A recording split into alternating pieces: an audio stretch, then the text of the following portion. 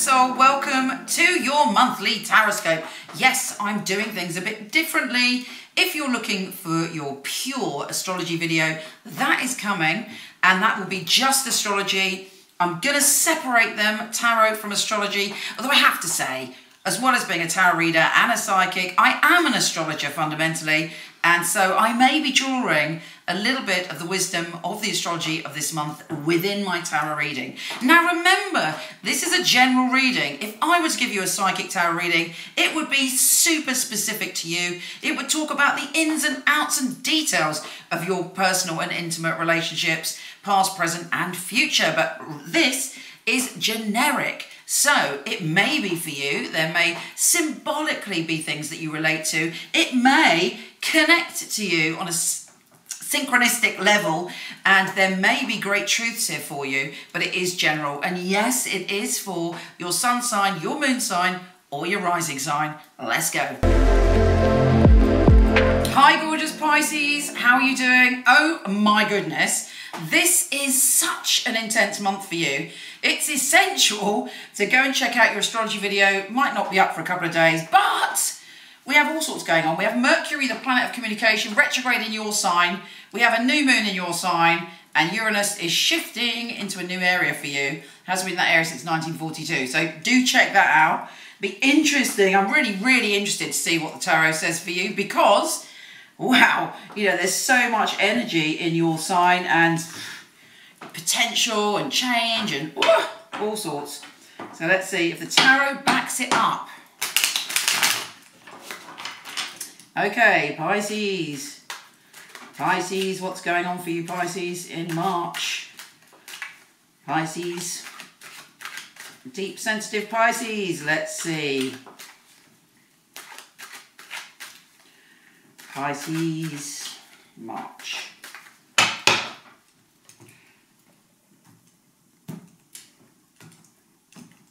Okay, Pisces, let's check it out. Oh, that's good. Hold on.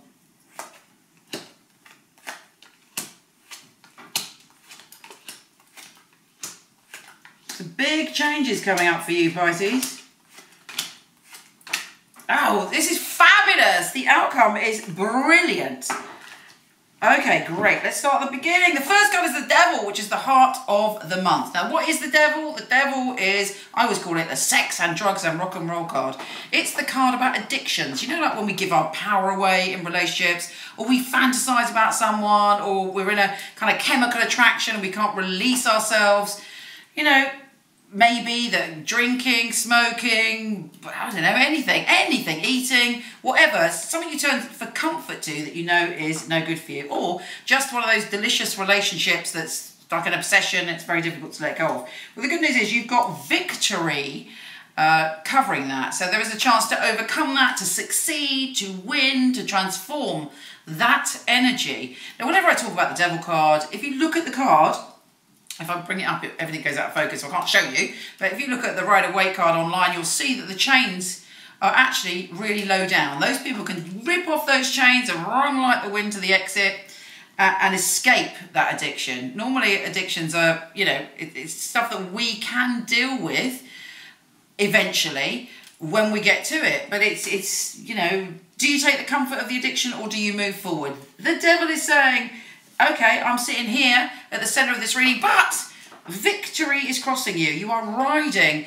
off away from that energy into glory because your outcome is I'm so tempted to say your outcome now because it's so great but let's let's take it one step at a time. What is beneath you is the ace of wands. You have your passion back for life. You have this intense desire and actual knowledge that you can succeed uh, and, and succeed an achievement I find uh, it's very dif different to the Ace of Pentacles, which is about financial achievement, materialistic achievement. The Ace of Wands is about your passion, it's about abundance, it's about a, a whole different vibe. And, and, it awakens us and it energizes us, and you've got that deep within your soul. There has been a financial shift around you. There may be some issues about where you're living, but those changes uh, are on the side right in front of you in your immediate future there's a big change life death rebirth you've got the death card in your the first two weeks but immediately that that big change happens, you've got the magician. That is really good news because it's basically it's a new cycle. And right there, uh, did that blur? right there, you have within your hands, almost like a magic wand, what you think you can create, what you believe gets the ball rolling. You, you've got all the tools you need to create your reality and to have this new start and to move forwards. And actually, the unexpected offers and opportunities coming to you, but you're in charge. You're not feeling that you have to take it because you're desperate to take it. You're like, hmm, well, do I want to take this or not? Uh, and you're moving forward, moving forward, moving forward. There may be something, I mean, I have to say, the only, well, negative is the wrong word, the only challenging energy here is around your home and family vibe. And your kind of, um, there may be some uh, worry about something around your home or something to do with your family. You feel a bit trapped when it comes to your environment. But again, that's going to shift. You've also got a, a, change where new friendships are coming towards you. Yes, there's a part of you that may uh, need your space. If you find people are being frivolous or people are being superficial, you might go, God, you know what, I can't deal with this because there's so much powerful energy around you at the moment. If people are being gossipy or small-minded or, or annoying and superficial, you may sort of become the Queen of Swords and cut off from their energy and go into being a bit of a hermit. But you know what? Don't worry. You know, mix with the people that have the same vibration or a vibration that you admire because um, then you catch that energy. But you're much happier though. You're happier when you make the decision to follow your light.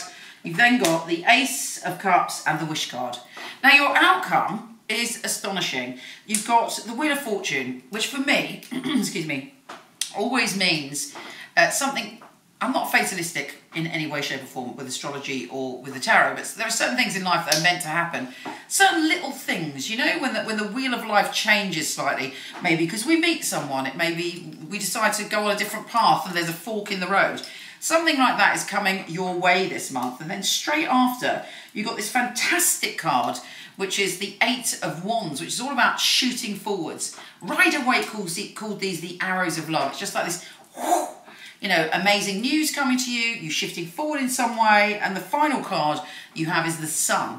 Joy, happiness, reconnecting to pleasure, reconnecting with your happiness, having fun just for the sake of it, being warm and generous, and, and you feel that you are expanding in your love um, and, and in your life. There may be things that you're thinking about to do with the past. May even be that because of the energy that's coming up at the moment, you might be thinking about your father or a man, a masculine energy that had a, a very big impact on you. But you're going through a process of healing and you're feeling like, you know what, this is the new now and I'm ready to leap forward. The final card for you is the Fool. Well, before that we had the Nine of Pentacles. So you're feeling much more secure in yourself. You're feeling so secure in yourself that you can take these leaps of faith. You can move forward just with an inner knowing that you're going to succeed. Do bear in mind that Mercury is retrograde in your sign. So there may be miscommunications, misunderstandings, uh, a sense of being, you know, overthinking things, feeling a bit paranoid, oversensitive, uh, or getting some information and overanalyzing it, or maybe someone says something to you, or you say something to them and it all gets lost in translation. Watch out for that, because Mercury retrograde in your sign is a pain in the ass. Fortunately, all of this looks fabulous. And don't forget, you have a new moon in your sign, which is always a new beginning. Uh, so you are becoming the magician and starting a new cycle again. Sounds amazing.